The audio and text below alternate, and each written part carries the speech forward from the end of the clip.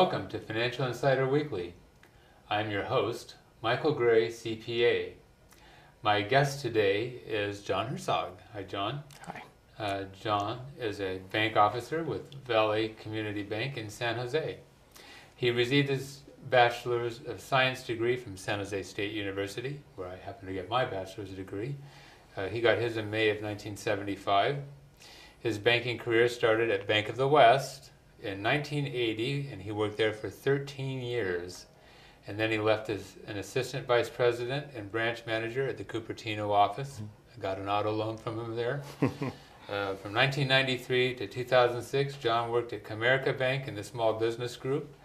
Uh, left as a first vice president, and then from 2006 to the present, he's worked as a first vice president for a Valley Community Bank focused on small business relationships. So thanks for joining me again. I'm very happy to be here. Okay, John. So with that, we'll go ahead and get into our questions. Now, folks, today what we're going to be talking about today is um, small business financing. So a lot of people that are wondering, you know, they're trying to start small businesses these days, or they may having issues. Uh, they need to get financing for the small business, and so we're going to get the picture from the community bank point of view. So, what is the state of the banking industry today related to small business banking? Well, I think uh, really uh, the industry, for the most part, it has been business as usual. Uh, right now, currently in the United States, there are approximately 8,000 banks. And the vast majority of those banks have been uh, really applying traditional uh, underwriting standards uh, throughout the years, in the good times and now in, this, these challenging times. Um, however, uh, there have been some banks that uh, had some looser guidelines during the good times. And um, and that's, that is affecting a lot of small business people out there right now. Okay. Now, when we talk about underwriting, just for people that know, because it's a little bit of a jargon word, uh, and that is what does it take to qualify for a loan, basically, uh, with the bank. So the, the, underwriting process is where the bank is evaluating the person and whether they qualify for financing. Well, um, you know, uh, right now, I think there are two things going on. Um, uh, you know, the, um, uh, a lot of small business owners are having a challenge to generate profitability right. sufficient enough to uh, justify being approved for loans. So that's, that's one of the things that's, that's actually happening right now. Mm-hmm. Um, another factor is uh, some of the banks that did have loose underwriting standards have now, the pendulum has swung uh, 180 degrees in the other direction. So instead of uh, providing uh, the traditional underwriting uh, standards, which is looking for cash flow, looking for collateral to support the loan, looking for stable credit history. They're asking for um, uh, more conservative re- traditional requirements. Mm-hmm. And so that has put a strain on people's ability to, to, get, yeah. to get qualified in, if they're banking with certain institutions. Yeah. So I've always been able to get the loan with the bank before. What's the deal? Why has it changed? So anyway. Uh. Well, um, you know, uh, really there are um, uh, different things that banks do to evaluate the uh, the credit worthiness of mm-hmm. a small business owner, mm-hmm. and um, in my opinion, the key the key factor that uh, small business owners should really focus on is the ability to generate timely and accurate financial statements. Mm-hmm. And um, as, a, as a good rule of thumb, um, you know, when you're starting out and maybe your revenues are under a million dollars, it's, it's okay to maybe generate a financial statement on a quarterly basis, meaning a, a balance sheet and an income and expense statement. Um, but then as the size of, of someone's business is growing, uh, they should uh, focus on really striving to have uh, finan- generating financial statements monthly. Mm-hmm. Um, and whether a business owner is getting those financial statements to get a loan or not, it's really good business practice to, to, to be able to review your financial position monthly if you're a small business owner.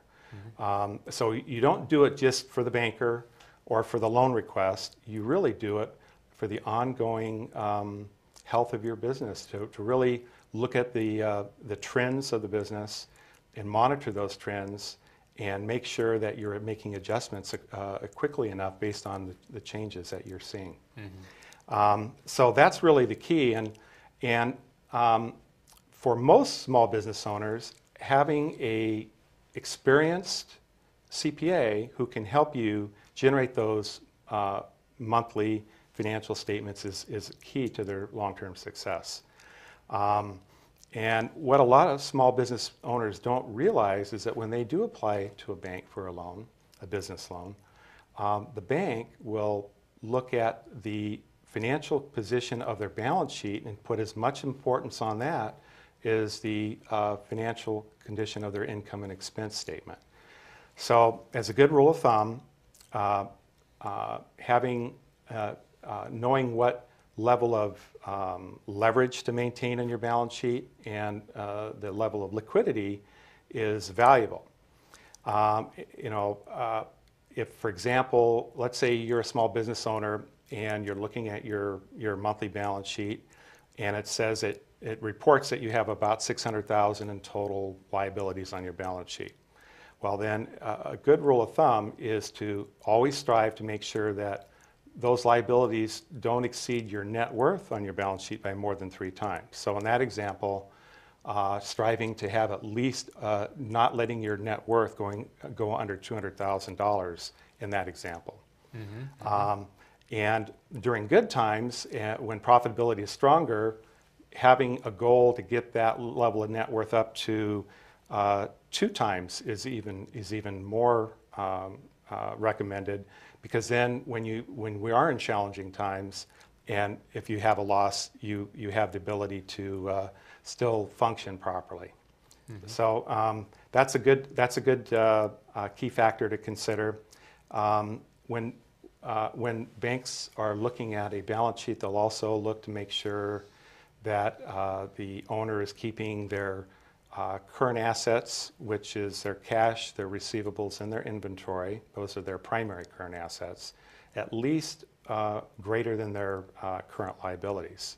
And uh, ideally, as a business owner, you would want your current assets to be at least one and a quarter times your current liabilities as a minimum, and strive to have it over one and a half times uh, when, when times are better. Uh, and this, this ensures that you have enough cash on hand if you're a small business owner to meet your normal uh, bills each month, including your payables and your payroll, and um, maybe uh, unexpected expenses that can come up from time to time. Mm-hmm. Um, now, uh, once, once you're able to you know, generate uh, monthly financial statements or quarterly financial statements, depending on the size of your business, and you're doing a good job uh, keeping enough liquidity in your balance sheet and enough uh, sufficient uh, uh, amount of leverage, not over leveraging your balance sheet. Um, banks will also look at the condition of your primary assets. So, a good rule of thumb is uh, to always stay focused on the uh, collection of your receivables and be real careful on who you're giving trade credit to and having a firm policy and how, how you will do that and how you will follow up if, uh, if, if your customer is not paying you in a timely manner. Um, a good rule of thumb is to try to keep the level of your total receivables um, not more than um, uh, uh, 15% of your total receivables not more than 90 days past due. Mm-hmm. Now, that's very challenging to do right now in this environment. Right. Um, and most small business owners don't have that.